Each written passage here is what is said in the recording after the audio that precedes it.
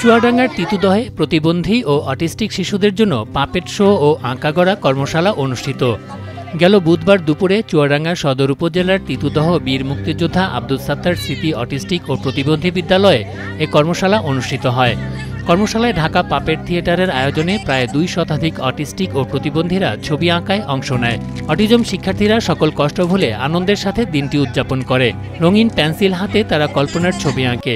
সেই সাথে প্রকৃতির অপার সৌন্দর্যকে ফুটিয়ে তোলে রং ও তুলির ছোঁয়ায়। শেষে এক মনোমুগ্ধকর পুতুল নাচ উপভোগ করে অটিস্টিক ও প্রতিবন্ধীরা।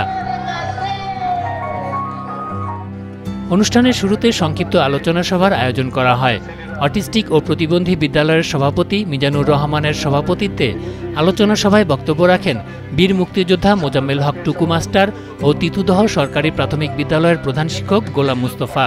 এছাড়া এ সময় উপস্থিত ছিলেন ঢাকা পাপেট থিয়েটারের পরিচালক আর্থার ব্যাপটিস্ট মুক্ত ও ঈশিতা জাহাঙ্গীর, সজীব কুমার ও জুয়েল ড্যানিয়েল ডায়ায়েস অটিস্টিক স্কুলের শিক্ষক শিক্ষিকারা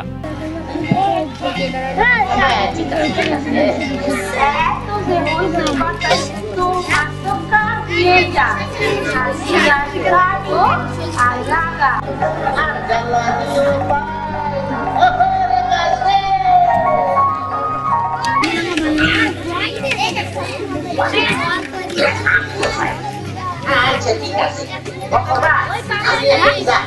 Ini aku, ini aku sedikit lah.